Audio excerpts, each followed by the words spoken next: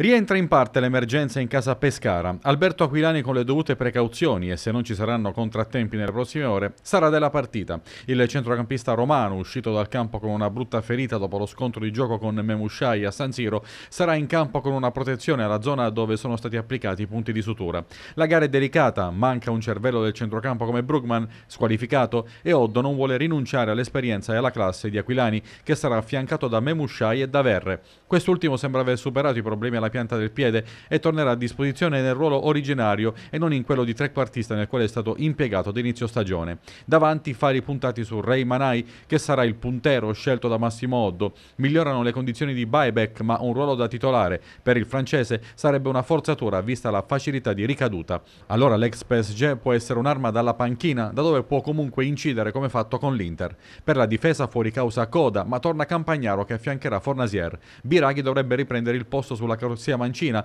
a scapito di Crescenzi. Insomma, si delinea l'11 anti-Empoli. Anche in casa toscana il tecnico Martuscello è al lavoro per individuare la squadra anti-Delfino. Mancheranno l'infortunato Laurini e lo squalificato Bellusci. L'ex Ciosic non è al meglio. Allora al centro della difesa sarà Barba a fare coppia con Costa. Nel 4-3-1-2 Saponara sarà il trequartista e uno tra Gilardino e Maccarone affiancherà il guizzante Pucciarelli. Croce e Crunici le mezze ali con Dius favorito su Jose Mauri per il posto davanti alla difesa.